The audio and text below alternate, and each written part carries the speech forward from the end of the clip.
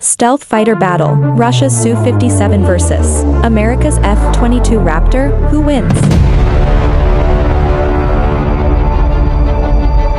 How does Russia's Sukhoi Su-57, NATO reporting name Felon, stack up to the Lockheed Martin F-22 Raptor?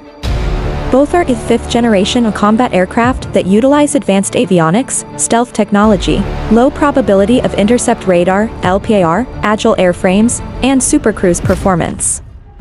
Each also featured highly integrated computer systems that are capable of networking with other elements within the battle space. For situational awareness and C3, command, control and communications, capabilities. Breaking down the stealth fighters, F-22. The F-22 was the first of the fifth-generation aircraft. It was developed as an air dominance air superiority fighter, but could also be employed in other roles including ground attack, electronic warfare, and signals intelligence capabilities. The Russian Su-57 was also developed to be capable of engaging in aerial combat, as well as being able to conduct ground and maritime strikes. The Raptor could be described as a far more mature platform as it first entered service in 2005. Originally, the United States Air Force had planned to buy a total of 750 of the F-22s, but the program was cut to just 187 aircraft due to the high cost, a lack of real air-to-air missiles during the global war on terror, and a ban on exports. In addition, the U.S. military should develop the more versatile F-35 Lightning II, and as a result, the last F-22 was delivered in 2012. Here comes the Su-57, the Su-57's first flight only took place two years before the last F-22 was produced. Thus it is a newer aircraft but features many design similarities.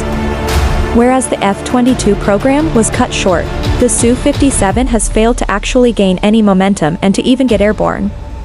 Development of the Felon has been protracted, and the first production aircraft was destroyed in a crash in December 2020.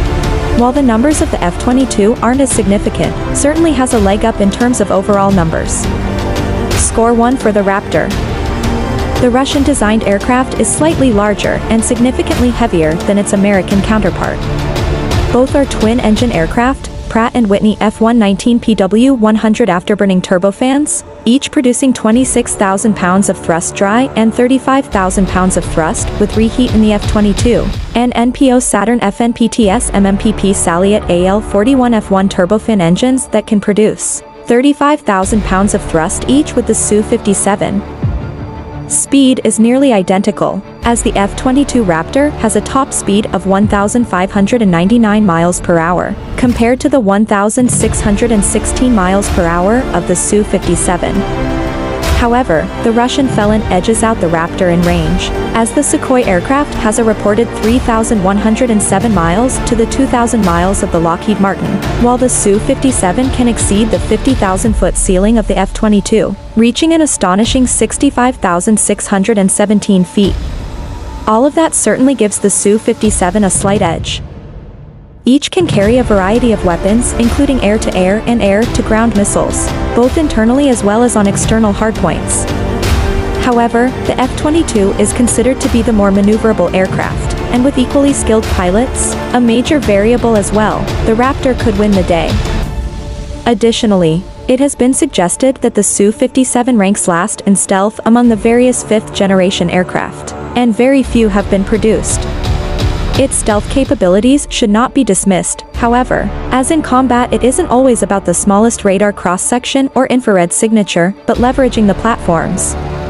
The Su-57 wasn't designed to serve as a stealthy fighter like the F-22, yet if the enemy can more readily see it, they can try to shoot it down.